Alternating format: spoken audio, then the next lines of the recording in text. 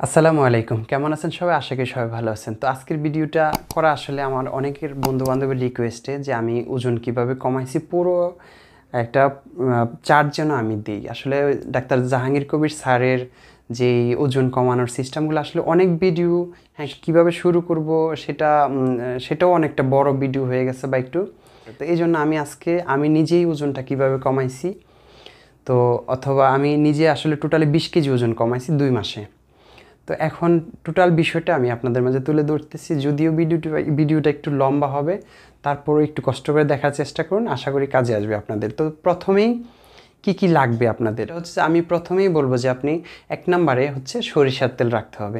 অবশ্যই খাঁটি সরিষার তেল হইতে হবে, সেটা হোক খাঁটি ভাঙানো অথবা অনেকে ভাঙায় বিক্রি করতেছে, সেটা খাঁটি তেলটা অবশ্যই লাগবে। তো দুই নাম্বারে কি লাগবে? দুই নাম্বারে বাদাম। আপনি সকল প্রকার বাদাম খাইতে পারবেন। বাদামের জন্য কোনো নিষেধ নেই, সকল প্রকার বাদাম। আপনার স্বাদ অনুযায়ী বাদাম কিনে নেবেন। তিন নম্বরে হচ্ছে ডিম। তো কি কি ডিম খাইতে পারব? দেশি নাকি ফার্ম নাকি অনেকে প্রশ্ন করে। সকল প্রকার ডিম খাইতে পারবেন।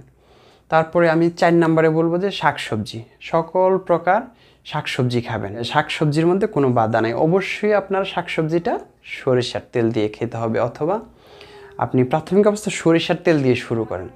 হ্যাঁ তারপরে পাঁচ নম্বরে কি লাগবে? পাঁচ নম্বরে মাছ, সামুদ্রিক যাবতীয় মাছ। হ্যাঁ সামুদ্রিক যাবতীয় মাছ, তৈলাক্ত মাছ। হ্যাঁ ভালো ভালো সকল মাছ খাবেন। তারপরে কি লাগবে? মাংস, যেটা আসলে নিত্য প্রয়োজনীয়, আমরা মাছ, মাংস এগুলো। তো ছয় নম্বরে লাগবে মাংস। হ্যাঁ আপনি সপ্তাহে দুইবার মাংস খাইতে পারেন। একটা এক সপ্তাহে দুইবার মাংস খাইতে পারেন। মাংস এত বেশি খাওয়ার দরকার আর অবশ্যই চর্বি সহ মাংস খাবেন। তো সাত নম্বরে কি লাগবে? আসলে ভিনেগার। ভিনেগার আমি দুই মাসে ওজন কমানোর ক্ষেত্রে ভিনেগার খাই নাই। আপনারা চাইলে খাইতে পারেন। ভিনেগারটা আসলে আমি আমার ক্ষেত্রে ভিনেগার খাইনি আমি ওজন কমানোর পরে ভিনেগার খাইছি। তো যাই হোক, যদি ভিনেগার পেয়ে যান আপনারা ভালো কথা, না হলেও ভিনেগারেরও প্রয়োজন নেই ওজন কমানোর জন্য। তবে ভিনেগার খাইতে পারেন যারা বেশি মোটা, বেশি ওজন। হ্যাঁ তাদের জন্য ভিনেগার খাইতে পারেন। তবে আমি ভিনেগার খাই নাই, সত্য কথা। যেটা আমি ভিনেগার ছাড়াই বিশ কেজি ওজন কমায় ফেলছি দুই মাসে। তো আমি আট নম্বরে রাখব যে ঘি, মাখন অথবা বাটার, একই কথা। কিন্তু এগুলো হচ্ছে খাঁটি হইতে হবে। অবশ্যই খাঁটি হইতে হবে, না হলে আপনার কিডনি ড্যামেজ হওয়ার সম্ভাবনা থাকবে। বিভিন্ন রোগে আক্রান্ত হওয়ার সম্ভাবনা থাকবে। অবশ্যই খাঁটি হইতে হবে। তো বাকিটা খাঁটি কীভাবে খাঁটি ঘি পাবেন সেটা পরবর্তী ভিডিওতে দেখানো হবে। তো এবার আট নাম্বারে আট নাম্বারে অবশ্যই যদি আপনার টাকা পয়সা থাকে এক্সট্রা ভার্জিন অলিভ অয়েল খাইতে পারেন, ঠিক আছে? এগুলো আমি আট নাম্বারে রাখতেছি। আপনি প্রথম ধাপে শুরু করতে এত কিছু লাগবে না, আপনি সরিষার তেল দিয়ে শুরু করতে পারেন। তবে আমি আট নাম্বারে রাখলাম এক্সট্রা ভার্জিন অলিভ অয়েল হ্যাঁ? তো এক্সট্রা ভার্জিন অলিভ অয়েল দিয়ে আপনি শাকসবজি রান্না করে খেতে পারেন। নয় নাম্বার রাখব, কচি ঢাব। আপনার যদি হ্যাঁ আপনি ওজন কমানোর ক্ষেত্রে আপনি দেখা দু তিন দিন পর মাথা চক্কর দিবে, একটু খারাপ লাগবে, একটু দুর্বল লাগবে তিন চার দিন। তো আপনি তখন কচি ডাব খেতে পারেন। কচি ডাব, অবশ্যই কচি ডাব। যদি ডাবটা একটু বাতি হয়ে যায় বা একটু মিষ্টি ভাব চলে আসে, সেটা খাবেন না। কচি ডাব খাবেন। হ্যাঁ রাখব যে লবণ। যদি হ্যাঁ আপনাদের মাথা চক্কর দেয় বা মাথা ঘোরা দুর্বল ফিল করেন, তো অবশ্যই এক গ্লাস পানির সাথে এক চামচ লবণ দিয়ে খেয়ে নিতে পারেন। আর হচ্ছে যে আপনাদের কিছুই লাগবে না। এটা হচ্ছে খাওয়ার রুটিন, ঠিক আছে? আর পর্যাপ্ত ঘুমাবেন, অবশ্যই পর্যাপ্ত ঘুমাবেন, পারলে ব্যায়াম করবেন হ্যাঁ? অবশ্যই আট ঘণ্টা নিম্নে ঘুমাইতে হবে। আর অবশ্যই একটা জিনিস চিন্তা করবেন যে, আপনি সকালের নাস্তাটা একটু দেরিতে করতে, রাতের খাবারটা একটু আর্লি খেতে। রাতের খাবারটা ধরেন আটটার মধ্যে খেয়ে নিলেন, সকালের নাস্তাটা এগারোটা, বারোটার মধ্যে সেরে নিলেন। তো একটা পর্যায়ে সপ্তাহ দশ দিন পনেরো দিন পর যাওয়ার পরে আপনি সকালের নাস্তা বাদ দিয়ে দিলেন দুপুরে আর রাতে খাইলেন।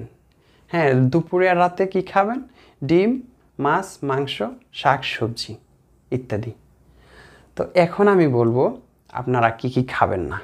একেবারে সহজে বলছি এখন বলব কি কি খাবেন না?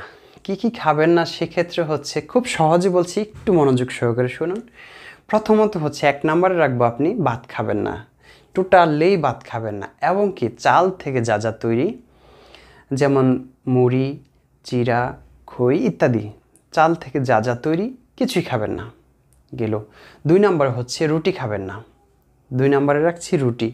রুটি খাবেন না। জব, গম, ভুট্টা থেকে যা যা তৈরি, কিছুই খাবেন না। গেল। এবং কি, তিন নম্বরে রাখব আমি আলু। আলু এবং কি মাটির নিচের যা যা আছে, মাটির নিচের কিছুই খাবেন না। ধরেন গাজর, মূলা, তারপরে হ্যাঁ আপনি মিষ্টি কুমড়াটাও বাদ দিতে পারেন। মিষ্টি কুমড়া তবে যেটা পাকা মিষ্টি কুমড়া, সেটা খাওয়া যাবে না টোটালি তবে যেটা কচি মিষ্টি কুমড়া, সবুজ মিষ্টি কুমড়া, সেটা খাইতে পারেন। তারপর আমি চার নাম্বারে রাখব চিনি। চিনি টোটালি বন্ধ করতে হবে। চিনি দিয়ে যা যা তৈরি যাবতীয় বন্ধ করতে হবে। হ্যাঁ? যেমন ধরেন এক বিস্কিট, চিনি দিয়ে তৈরি হয়, কিছুটা চিনি মিক্স হয়, তারপরে মিষ্টি জাতীয় সকল ফল ফ্রুট বন্ধ করতে হবে এবং কি চা, চিনি দিয়েও খাওয়া যাবে না। লবণ চা খেতে হবে। এবার পাঁচ নাম্বারে রাখব আমি, সয়াবিন তেল অবশ্যই বাদ দিতে হবে। সয়াবিন তেল তো বাদ না দিলে আপনি সম্ভবই না। আপনার এই মানে এটা সম্ভবই না যে ওজন কমানো সম্ভবই না। কারণ হচ্ছে সয়াবিন তেল খাওয়ার সাথে সাথে আপনার পেটে গন্ডগোল দেখা দিবে হ্যাঁ বিভিন্ন ধরনের সমস্যা দিবে। তো এই ভিডিওটা আসলে এটা নিয়ে পরে কথা বলব, যদিও এটা বড় হয়ে যাবে এখন এই এই বিষয়টা নিয়ে কথা বলতে চাইলে। তো পাঁচ নম্বরে সয়াবিন তেল বাদ দিতে হবে সানফ্লাওয়ার অয়েল মানে রাইস বান অয়েল হ্যাঁ পাম অয়েল এগুলো টোটালি বাদ দিতে হবে। এবার ছয় নম্বরে রাখব যে আপনার সকল প্রকার দুধ দুধ হোক পাউডার দুধ, হোক গরুর খাঁটি দুধ, তারপরে হোক দুধের চা হ্যাঁ চিনি দিয়ে দুধ চা তো একেবারেই খাওয়া যাবে না।